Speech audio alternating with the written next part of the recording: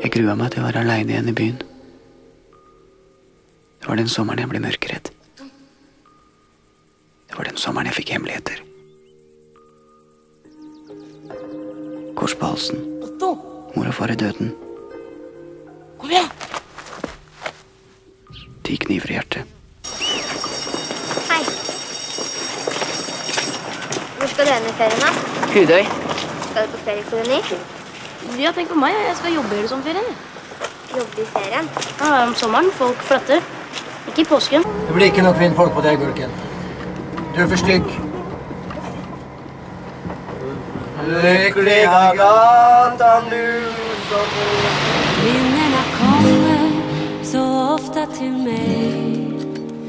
Nu er alt borte, jeg fatter det Hva heter du for noe?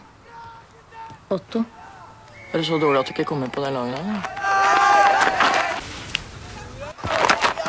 Kast den nå. Kast den.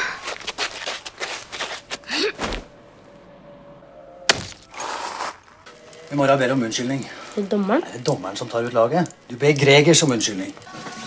Får ikke sove når han synger igjen. Han synger like fast som du spiller. Du, pass deg! Har du mange venner, Otto? Tenk meg det. Skal du bli med en tur, eller?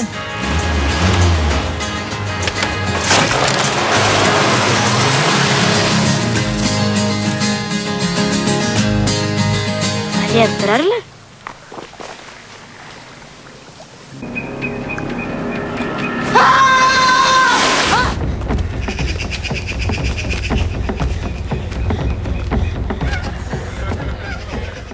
Som dere kanskje vet, er det forsvunnet en pike.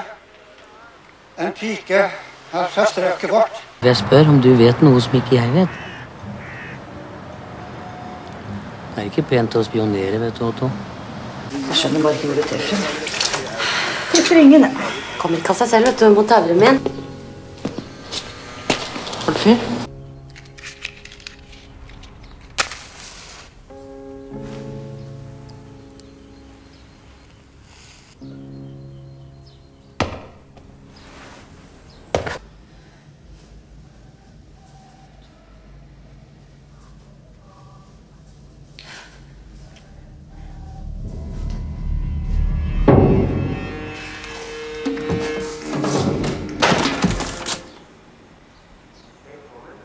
Hvor er mutter'n?